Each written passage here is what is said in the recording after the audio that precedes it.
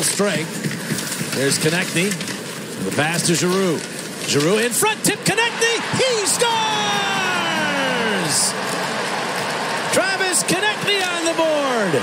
And the meet goes on for the Flyers. Now six to one. You can see from Travis Konecny's reaction, he needed that one. It's a 6-1 lead. And more importantly, Konecny gets on the board, and it was a big sigh of relief. 18 now in the season. Nice bank pass by Konecny. Another really good feed from Claude Giroux. And Konecny tips that pass to Braden Holtby and extends the Flyers' lead. Watch Konecny here as he just cruises into that blue paint and tips it right there, elevates it on the tip, and then that reaction after tells a little story.